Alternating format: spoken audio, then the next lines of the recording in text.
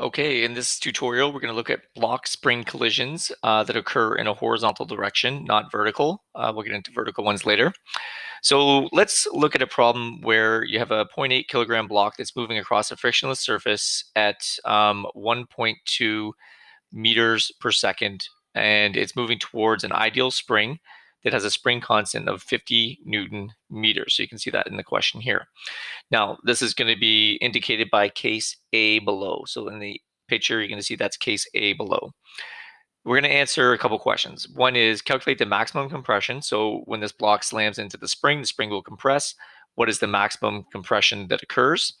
Um, and then the second one is calculate the speed of the block when the block is compressed by 10 centimeters. So when it's compressed by 10 centimeters, now that obviously assumes that the block's maximum compression is more than 10 centimeters. And after the block is compressed and then pushes the block back, calculate its speed as it leaves the block. That's case D. So we're going to do case A, case C, B, and D. Now let's look at the situation and talk about what we see in this. So if you're following along, you'll notice a couple of things here. You're going to notice um, that in case A right here, you've got a block that has a, a specific mass and it's got a specific velocity and it's going to hit this spring. X equals zero is the equilibrium position that you see right there. Now, what you'll notice here is that the energy of the system is entirely kinetic, okay? And you'll see below um, that if you look below here, you're going to see that there is a total energy um, equation. Okay. Now the total energy equation for the system. So this first part is the system up here. Okay. It says EK1 plus EJ1, EG1 plus ES1 equals EK2 plus EG2 plus ES1, uh, ES2. Okay. What this says is that the initial kinetic energy of the system plus the gravitational energy of the system plus the spring energy of the system initially that is equal to whatever the kinetic energy of the system is afterwards plus the gravitational energy afterwards plus the um, spring energy afterwards. Now since we're in a horizontal sy system the gravitational energy will subtract off with this energy here. So they will subtract off from each other. So we don't even have to worry about them. They're going to just cancel each other out okay and you know, the canceling out of those two is because whatever gravitational energy, so however high off the ground this is, it's still that high off the ground over here.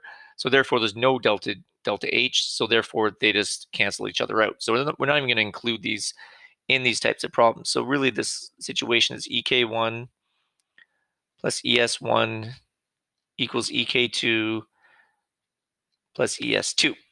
Okay. So we are ignoring the gravitational energy because there is no change in it. Problems later with inclined planes or vertical directions, the gravitational energy cannot be ignored, so you've got to take that into account. All right, so why is it that up here it just says E equals 1 half mVA squared? Well, let's think about it. The kinetic energy of the block, so down here, the kinetic energy of the block is half mv1 squared, and that's so a1 whatever there's no spring energy. The spring is not compressed at this point, so this is zero. The um, the spring system here, uh, there is no kinetic energy of the spring in the block, and there is no um, sorry, the kinetic energy uh, here is zero, and the kinetic energy of the spring over here is also there's no spring energy, so it's also zero. So all of the energy of the system is simply EK1. Okay, and that's obviously equal to EK2 because it's the, it's the system's just moving. So these two are the same, and it's just equal to the kinetic energy. So the whole system has a maximum energy of whatever the kinetic energy of that block is. And again, we're assuming a frictionless environment. Okay, well, let's look at as the block starts to compress. Well, as the block starts to compress, some energy is now getting stored into the spring. So it says here that the energy in the system at this point is 1 half mv squared, mv2 squared, plus 1 half kx uh, b squared. So what you'll see is, when we're looking at the energy of this system, the total energy of the system was just EK, and it now equals whatever the kinetic energy of the block spring system is plus the gravitational, uh, sorry, plus the spring energy. So what they're looking at over here is now we're seeing that there's a bit of kinetic energy of the block in the spring plus the energy being stored into the spring. So what happens is some of this kinetic energy is being decreased. So this is decreasing and this is increasing. So the spring energy is going up, the kinetic energy is dropping, but the two energies together is going to exactly equal this initial kinetic energy. So at this point here, it's that plus that, or sorry, that would equal those two. Now, at maximum compression, all of this kinetic energy is stored into the spring. So all the initial kinetic energy gets stored all into the spring because there's no kinetic energy if you're at maximum compression and there's still at the beginning there was no spring energy. Okay. After it compresses, well, it says here that the energy is equal to, so the total energy is equal to the um, initial energy of the system, which is equal to the initial kinetic energy. So that's obvious, right? So if after the collision, if the total energy was EK and there's no spring energy left because it's uncompressed, it's pushed itself back, then all the energy comes back as the initial spring energy. So therefore, the block would leave at exactly the same speed that it came in at. So we've already solved question C just by thinking about it logically. So the total energy of the system is equal to the kinetic energy. During collision, the total energy, which was the initial kinetic energy, gets divvied up between the kinetic energy that's decreasing, the gravi- uh, the spring energy, which is increasing. You eventually reach a maximum spring energy where there's no kinetic energy left. It then starts to uncompress, and during uncompression, it, the kinetic energy starts to increase, the potential energy starts to decrease, and eventually all of the energy comes back out, assuming no friction loss and no sound loss and no deformation loss, all that sort of stuff comes back as the same amount of kinetic energy. Okay, so what we can do now is start to solve those questions. So we can look at the solutions for those problems. So I'm just going to do it on a separate sheet of paper. All right, so question A. So question A is asking us um, calculate the maximum compression. Okay. Now, when we're calculating the maximum compression at max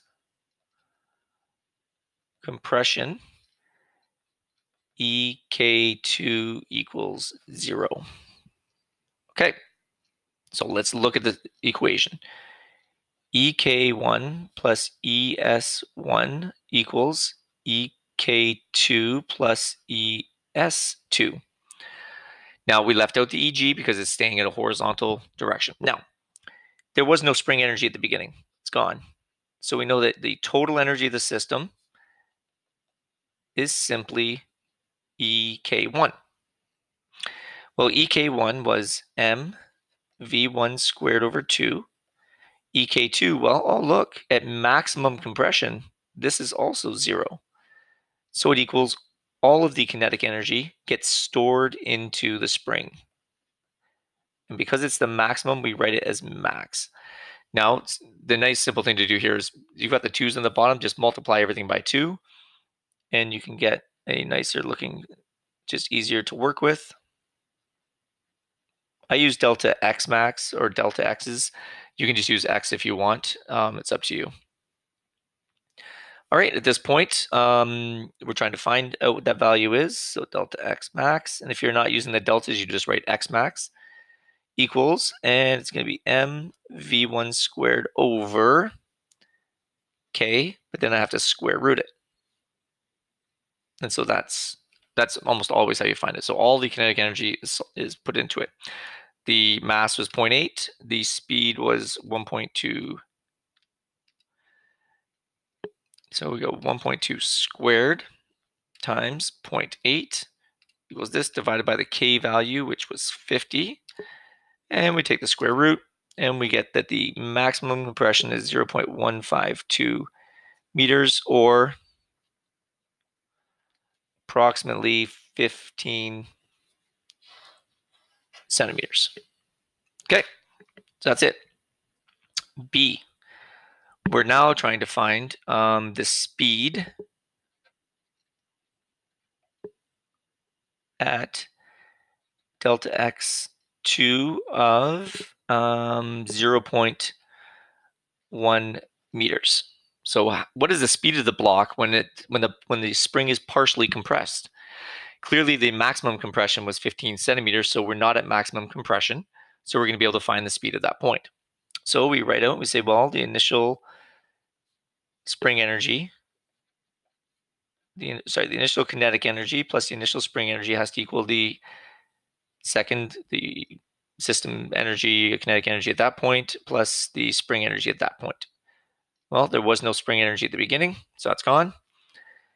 And now we just have EK1. Now there is kinetic energy. Some of the, the kinetic energy is going to be dropping and the, um, the spring energy is going to be going up.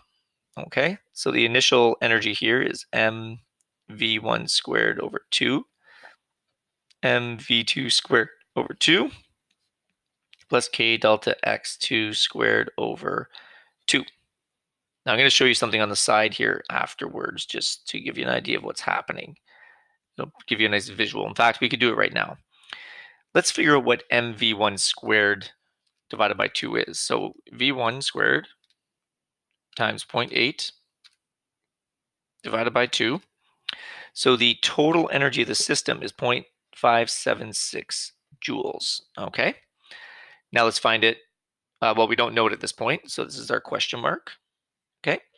And plus, and then we know this the compression is 0.1 squared times the K value is 50. So we go 0.1 squared times 50. And then we times it by, oh, sorry, we divide it by 2. And we get 0 0.25 joules. So now look, some of the energy, some of the energy is, is stolen by the spring. Well, how much of that energy has been stolen? You just subtract those two numbers. So the 50, so we go 0.57, 6 less 0.25. So this is how much energy, 0.326 joules of energy is now kinetic energy. That's how much is now the, the it dropped from 0.576 kinetic energy down to that much.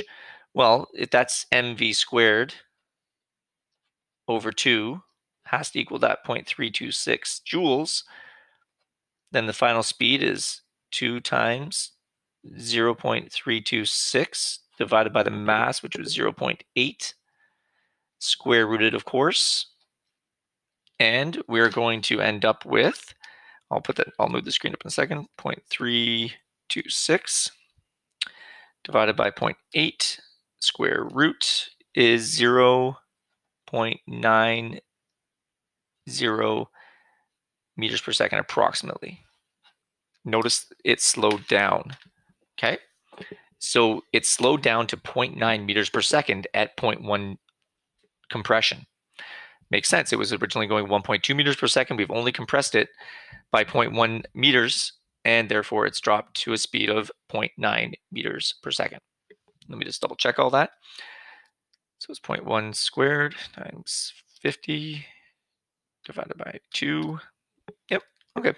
So let's see if we get the same answer on the other side. Um, it seems like it would have slowed down more because it should have come to a rest at 15.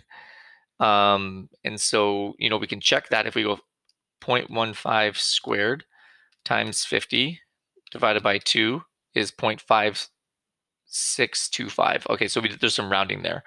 So it does, it is approximately, um, if we do 0.152 squared times 50 divided by 2, you get 0.576.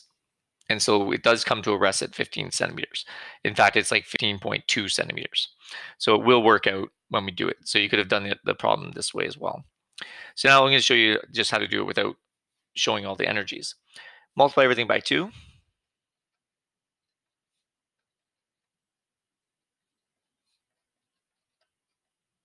Okay, we know everything here except for this thing. That's our only thing we don't know. So I'm going to bring some stuff over.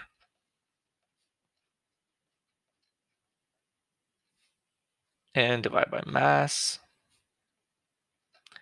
And because it's, so I've brought this over, made it minus, I've got the V2 squared, so I got to square root this thing. And you see that we've just got the exact same thing over here, right? It's going to be the same situation. We've found the one energy, subtracted the other energy, divided by the mass, and then we don't have to divide by twos and all that stuff because when we multiply that two up, it gets rid of the two from there. So that's just a fast way of doing it. So V2 equals square root 0 0.8, 1.2 squared minus 50 times 0 0.1 squared all over 0 0.8. And so if we put this in our calculator,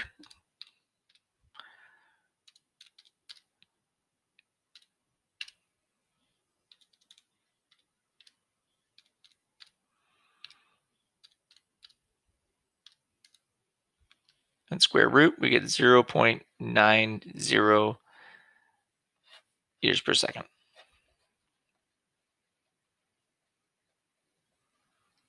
Same answer.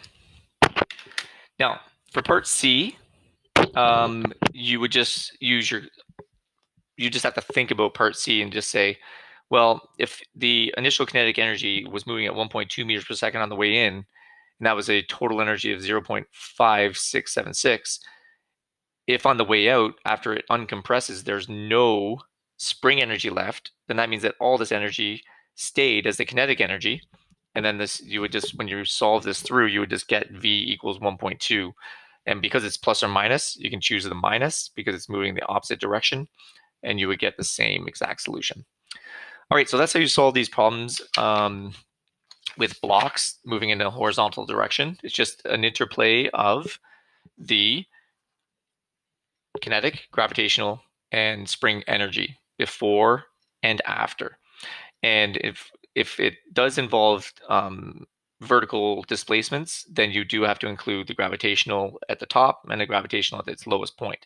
Usually at the lowest point, we just make it zero, and then we make the h value the, the maximum height of the object. That's all you need to know. You can do every question now based on this uh, this lesson using energy and springs.